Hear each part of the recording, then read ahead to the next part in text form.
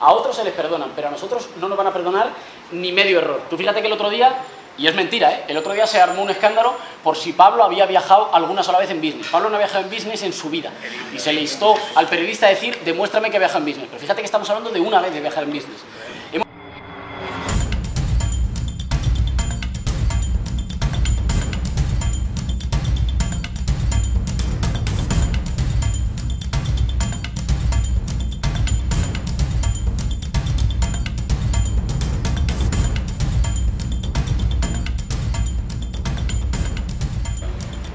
Yo lo que te voy a decir no sé si tiene demasiado sentido que te lo diga, pero el tener la posibilidad de alguien del equipo promotor aquí podérselo decir, no me, no me lo voy a callar. Eh, vosotros habéis lanzado una serie de propuestas, el equipo promotor, todos las sabemos, las contraes, todo lo que está ahora sobre la mesa, ¿no? Sois muy inteligentes y sabéis lo que estáis haciendo y no voy a ser yo el que os va a descubrir esto que te voy a decir, pero el miedo que tiene Podemos o que o yo interpreto así que tiene Pablo o que tiene Podemos o como lo queréis llamar a que nos presentemos a las municipales por si hay gente que entra en los círculos, hace las cosas mal, realmente no representa Podemos o el espíritu de Podemos, o hablando en plata, que van a terminar siendo casta o están haciendo las cosas de una manera o las van a terminar haciendo de una manera inapropiada.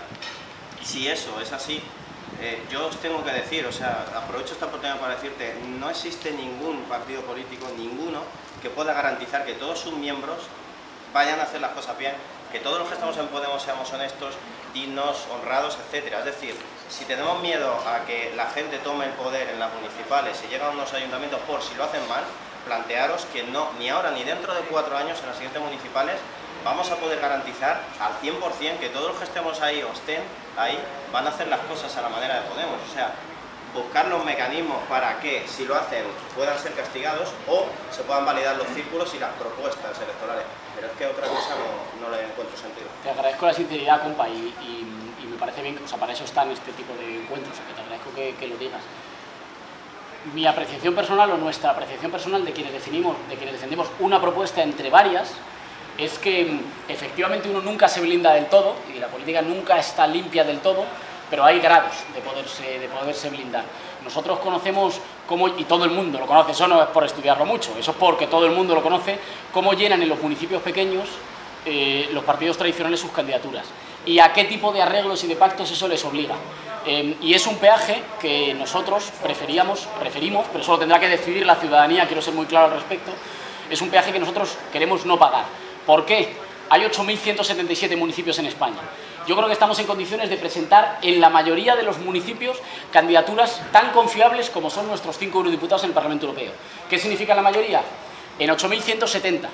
Ahora, creo que como haya siete, municipios, en España en los que tengamos algún fenómeno del que nos tengamos que arrepentir y que además sea un tipo que al día siguiente te diga, oye, el acta es mía, el acta no es de Podemos, el acta es mía como concejal. Con que haya siete municipios, aunque sean municipios de 70 personas, se van a encargar los medios de comunicación principales de este país de convertir esos municipios en portada. Siete, de 8.177, joder, es una tasa de éxito del 97%, pero portada en el país, ¿eh? que al día siguiente dificulte construir una alternativa que pueda ofrecer garantías. Creo que ese es un riesgo y creo que hay que valorar el riesgo, sin drama.